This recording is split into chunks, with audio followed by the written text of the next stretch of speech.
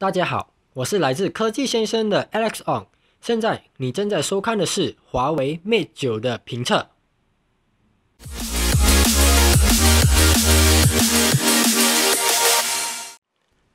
致你们参数的爱好者，你们可以暂停影片来观看显示在荧幕的参数。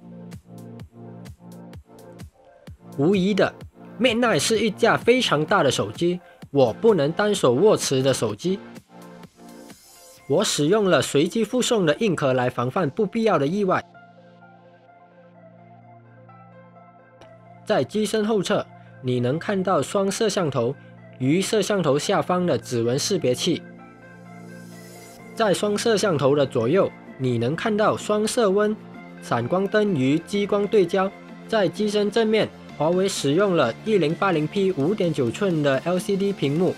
很多人都说。二 K 屏幕才是王道，可是 1080p 已足够应付日常使用，不管在室内还是室外，使用屏幕的能见度很不错。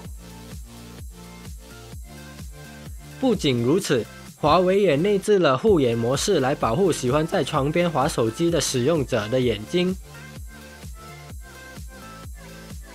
华为也内置了红外传感器，方便使用者来控制家电。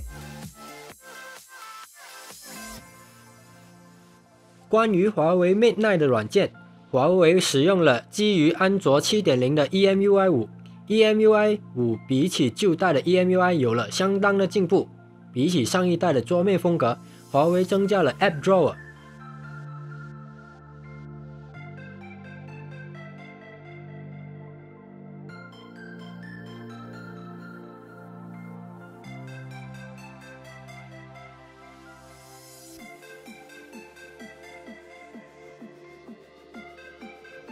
EMUI 5不再使用 iOS 风格的通知栏，而是比较靠近原生安卓的。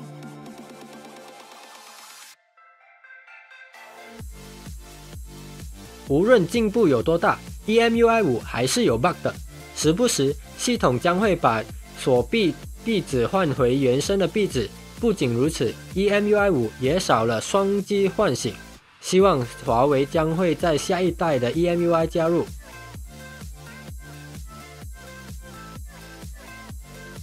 在机身后侧的指纹识别器不仅可以让你解锁，还能让你将通知栏拉下。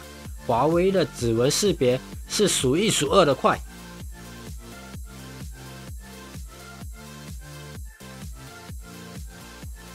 关于性能，Mate 9能轻松的运行你所给的任务，八核的麒麟九六零能轻松的把任务完成。即使是在双屏模式。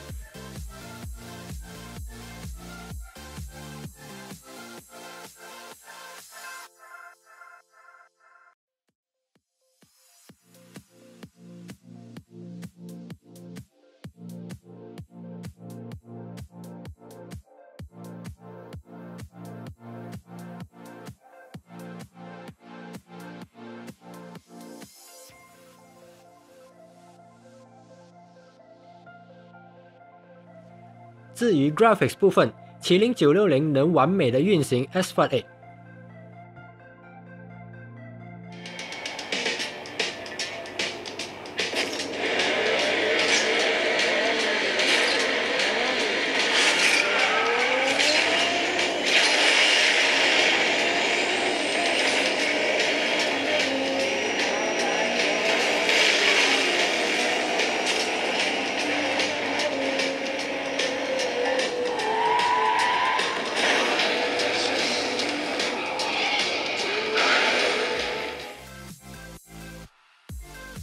多媒体部分，华为 Mate 9的双喇叭是蛮大声的，可是不是市场上最好的。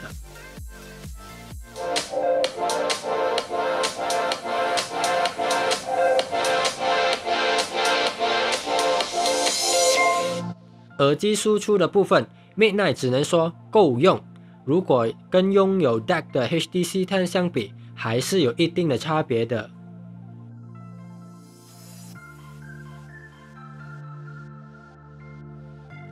相机部分，华为 Mate 9了使用第二代徕卡认证的双摄像头，徕卡认证的双摄像头是拥有 f 二点二光圈的一千两百万像素的颜色模组，加两千万像素的黑白模组。Mate 九的后置摄像头是市场上你能找到的最好的其中之一，它能拍摄一些蛮鲜艳的照片，清晰度也是蛮不错的。在最新的系统更新上。你能够像 iPhone 7 Plus 一样实现十倍变焦。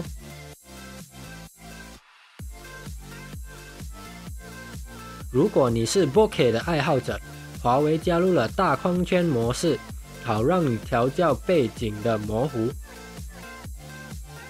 手动模式也在 Mate 9上出现，可是界面还是需要一些改进的。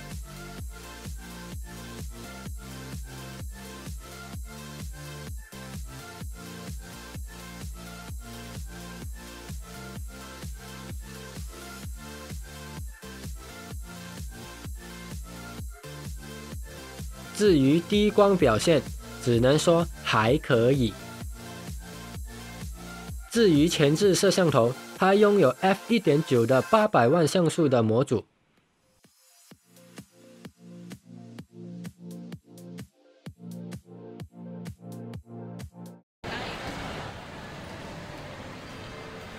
徕卡认证的摄像头最大的特点就是黑白照片。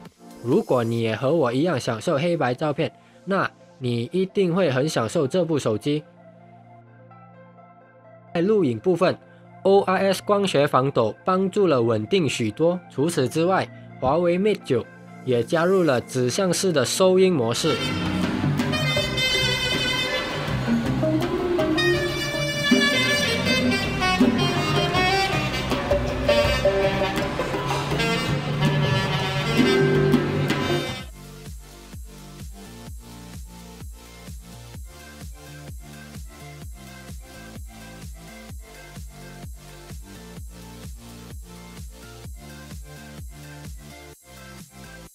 最后，Mate 9拥有四千毫安时的大电池，你一定能够用上一整天。至于充电，你将能享受华为自家的快充方案 Supercharge，使用 Supercharge 只需十分钟就能充满二十八仙，一小时就能充到八十八仙。华为宣称只需九十分钟就能从零充满。